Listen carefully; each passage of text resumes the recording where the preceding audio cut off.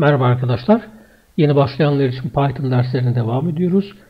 Bu dersimizde şu an ekranda görmüş olduğunuz if underscore name underscore eşit eşit main ifadesi üzerine konuşacağız.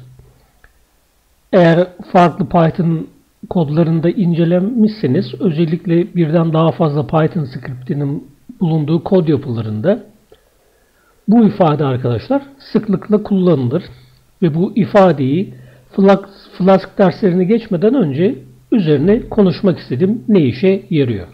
Şimdi bu ifadenin kendisi genel olarak ilgili Python scriptinin yani buradaki app.python'ın bu örneğimizde direkt çalıştığını mı yoksa farklı bir modül tarafından import edilip edilmediğini bize gösterir. Şimdi buradan ne kastediyoruz? Şöyle anlatalım. Şimdi şunu bir silelim öncelikle. Bize şöyle print diyorum arkadaşlar. Bize şöyle name değişkenini underscore underscore name değişkenini print etsin. Bakalım bize ne verecek. Görmüş olduğunuzda çalıştırdığım zaman bu name değişkeni bize görmüş olduğunuz underscore underscore main underscore underscore stringini geri dönüş olarak veriyor. Bu bize neyi gösterir? Bu görmüş olduğunuz app.py dosyasının arkadaşlar direkt direkt çalıştırıldığını, direkt kod satırından çalıştırılabilir bir dosya olduğunu gösterir. Eğer bu ifade farklı bir dosya tarafından import edilmiş olsaydı o zaman import edilen dosyanın ismini gösterirdi. Mesela sonra aşağı yazıyorum arkadaşlar. Diyorum ki if underscore underscore name eşit eşit main string ise underscore underscore main string ise ne olsun buraya? Mesela şöyle print diyelim. Print diyelim. Şöyle test mesajı şeklinde print versin. Şimdi ben bu kod satırını çalıştırdığım zaman bize şu print'i ve print mesajını göstermesini istiyorum. Değil mi? Neden? Çünkü buradaki name ifademiz neye eşit? underscore underscore main'e eşit. Hatta silelim şunu.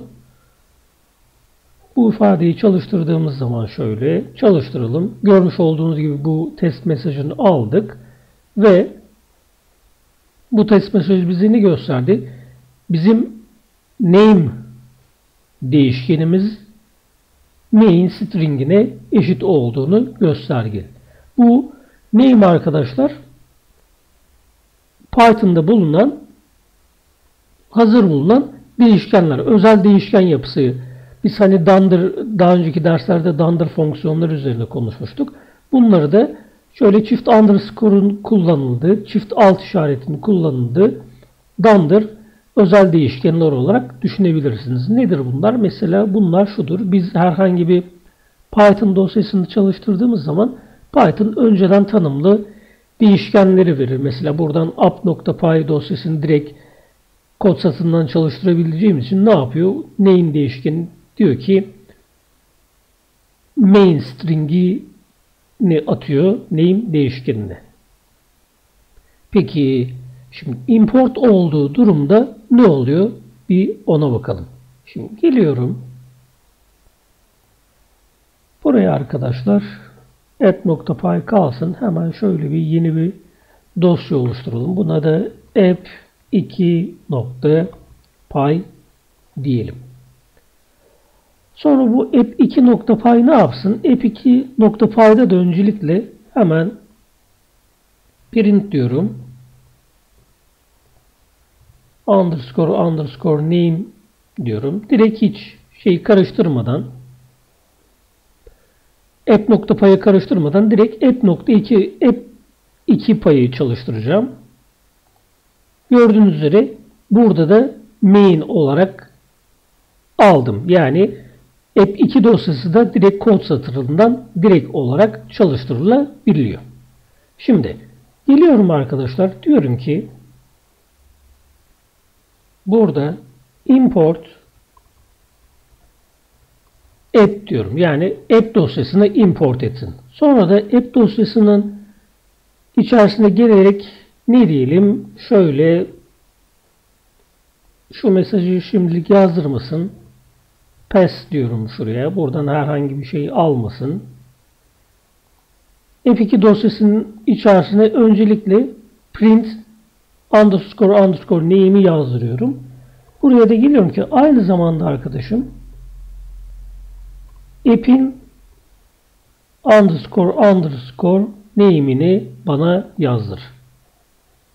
Kaydediyorum. Şurayı da temizliyorum. CLS ile. Çalıştırıyorum arkadaşlar. Bakın. İlk önce neyi gösteriyor? Print name olarak. Yani API çalıştırdığım için burada main API ait name parametresi bana main olarak veriyor. Neden? Çünkü ben direkt API çalıştırıyorum dikkat ederseniz. Ancak bu kez app'ın name'ine istediğim zaman ne print etti bu kez? Görmüş olduğunuz gibi app modülünün ismini print ettirdi. Çünkü neden? Ben direkt app.py dosyasını çalıştırmıyorum. Ne yapıyorum? app.py dosyasını import ediyorum. Bu şekilde anlaşılabilir. Mesela şöyle bir örnek daha gösterelim isterseniz. Hemen geliyorum burada. Şimdi şurayı mesela şöyle bir fonksiyon yazdıralım. Mesela def hello şeklinde bir fonksiyon yazdıralım. Ne yapsın bu fonksiyonumuz? Basit olarak print desin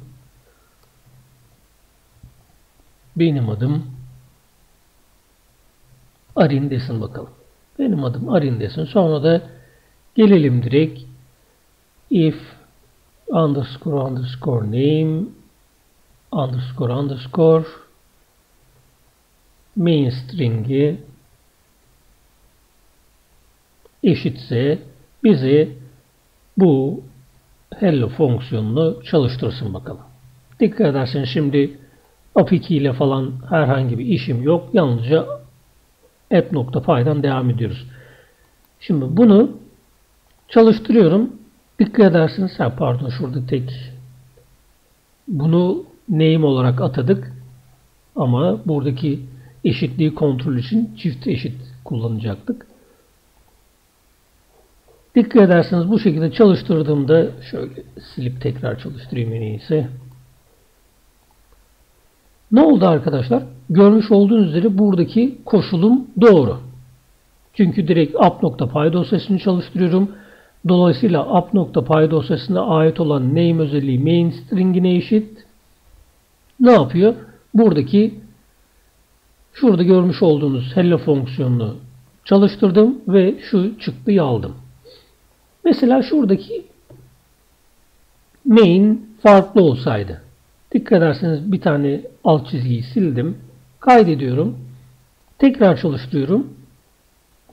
Ne oldu? Dikkat ederseniz dosyam çalıştı ama name özelliğim şu ifadeye eşit olmadığı için ne yaptı arkadaşlar? Buradaki hello fonksiyonunu doğal olarak çalıştırmadı. Şimdi bu kez tekrar app2'ye girelim. Hemen import diyoruz yine. Import app demişiz. Burada arkadaşlar geliyorum. Burada hemen şuradaki aşağıdaki print'i silelim. Bu kez dikkat ederseniz app2 dosyasını çalıştırıyorum. Sağ tıkladım. Çalıştırdım. Ne yaptı? Yalnızca bana app2 dosyasının name'ini print ettirdi. Ancak dikkat ederseniz buradaki app'ten herhangi bir şey gelmedi. Çünkü app bu durumda app'in name özelliği main değil. Yani app çalışacak olan fonksiyon değil ilk başta. Neden? Biz app2'yi çalıştırıyoruz şimdi. Ancak buraya gelir de arkadaşım sen artık main değil de apps'in yani dosya ismisin, modül ismisin dediğimiz zaman geliyorum tekrar app2'ye. Bu şekilde çalıştırıyorum arkadaşlar. Görmüş olduğunuz gibi ne yaptı? Bu kez dikkat ederseniz şuradaki hello fonksiyonuna ait print'i app2 üzerinden yazdırabildik. Neden? Bu kez app2 ana çalışan fonksiyon yani name parametresi main ancak app.py dosyasının name parametresi bu kez app. Neden? Çünkü bu app.py import edilen e, modül. Ondan dolayı. Peki hocam bu neden bu şekilde düşünülmüş Python'da dersiniz? Şunu söyleyebilirim. Öncelikle bu her Python modülünün teorik olarak e, kendi başına çalışabildiğini gösterir. Yani eğer çok fazla import edilmiş dosya yoksa biz her Python scriptini ne yaparız? Her Python scripti bir main fonksiyonu olarak yani ana başlangıç fonksiyonu olarak çalışabilir. Mesela bu diğer programlarda çok zordur. Mesela Java'da biz main fonksiyonu nasıl oluştururuz? İşte public static void main deriz ve programın giriş noktası orası olur. Ama Python'da bu durum yani şu koşul teorik olarak şu koşulu kullanarak biz her bir Python dosyasını kendi başına çalışıp e, kendi başına çalıştırabiliriz. Ayrıca bu bize neyi sağlar arkadaşlar? İstediğimiz kod yani istediğimiz Python dosyasının testinin daha kolay yapılmasını sağlar. Ve istenilen Python dosyasının arkadaşlar daha kolay tekrardan kullanılmasını sağlar. Yani programımıza genel olarak daha fazla dinamiklik katar bu durum. Umarım anlaşılmıştır arkadaşlar. Bir sonraki dersimizde görüşmek üzere.